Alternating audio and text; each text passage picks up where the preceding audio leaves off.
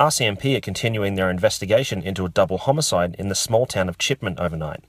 Officers were called to this small brown bungalow on the corner of 49th Street and 45 Avenue just before midnight.